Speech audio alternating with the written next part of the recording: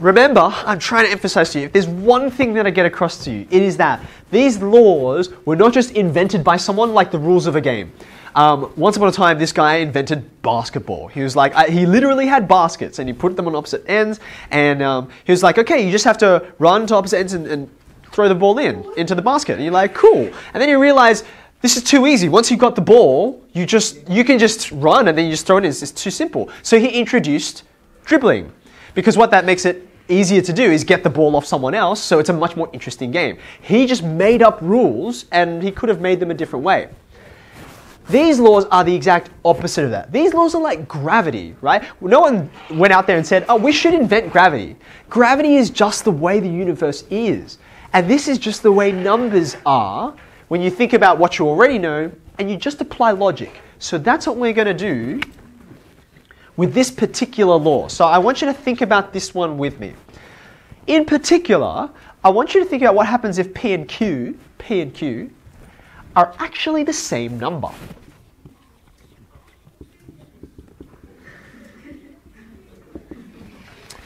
If P and Q are the same number, if they're both equal, say, to P, okay, what does the law that we've just developed, what does that tell you the right-hand side should be?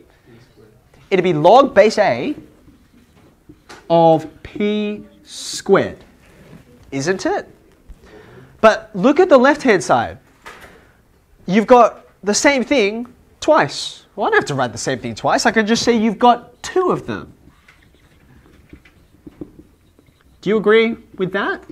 I've looked at the same object, I've simplified it with a log law, but I've also simplified it just by collecting like terms, right? Now think about what would happen if I added another log base A of P to both sides. If I added another log base A of P here, and I added another one here.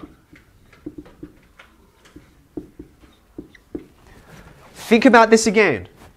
Left hand side, can you collect some like terms for me? How many log base A of P's do I have? There are three of them. What about the right hand side? Don't collect like terms because they're not like. Use your log laws, right? When you're adding logs with the same base, what do you do with the numbers in the logs? You multiply them. So p times p squared is p cubed. So this gives us a law. I can keep on doing this forever, right? If you've got some number, and this is a, uh, I'll put it in orange actually, because this you can now add to your list of laws. If you want to pick up your pen now. This is a new law that we've just developed, We've just derived actually.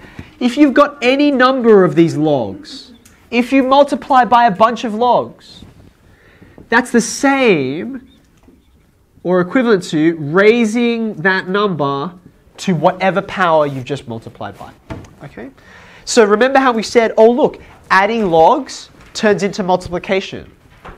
Multiplying logs turns into a power. It keeps climbing up. Okay? Now a lot of you asked me out question M. M. Can someone read question M to me, please? Log base base log base 2 of 18. 2? Base 2? Okay, great. So I'm going to use this new one that I've just developed on this. Okay?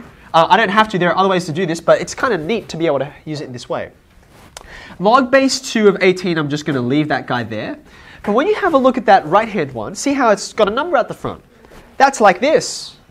In fact, it's just like this, right? So instead of writing the 2 out the front, I'm going to write it as a power. 3 to the power of 2. Does that make sense? You see how I've used this? This coefficient, the multiple at the front, turns into a power. Or I could do vice versa if I wanted to. This is log base 2 of 18 minus log base 2 of 3 squared is 9.